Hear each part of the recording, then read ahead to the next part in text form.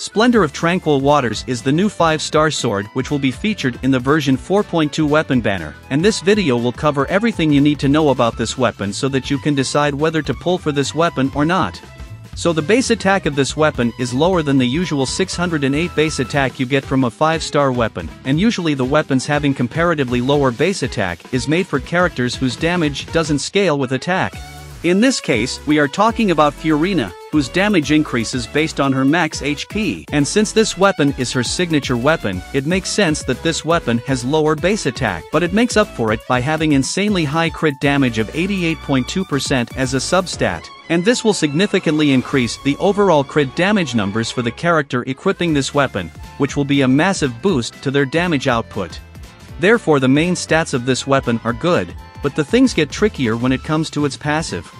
Basically, when the wielder's HP increases or decreases, then their elemental skill damage gets increased by 8% which can stack up to 3 times. And while the HP of other party members increases or decreases, then the equipping character's max HP will be increased by 14% which can stack up to 2 times. So at maximum number of stacks, the wielder's elemental skill damage will be increased by 24% and their max HP will be increased by 28%. Now, these are amazing buffs for Furina as she deals a lot of damage from her elemental skill, and both her damage as well as heal scales of her max HP. So 24% increase in elemental skill damage paired with 28% increase in max HP are just incredible.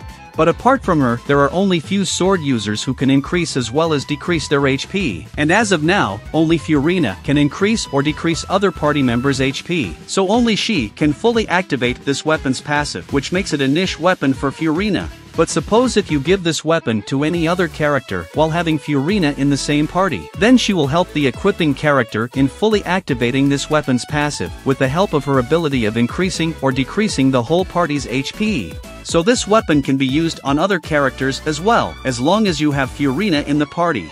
However, this approach will limit team comps, as one spot will be always reserved for Furina, so you have to keep that in mind as well.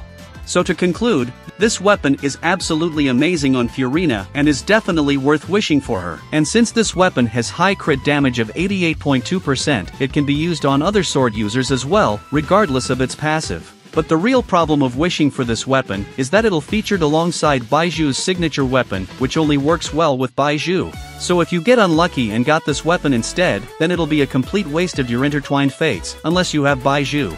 And even if the 4 stars on this weapon banner are good, except the bell, you should keep in mind the potential risk of this banner if you decide to pull for Furina's signature weapon.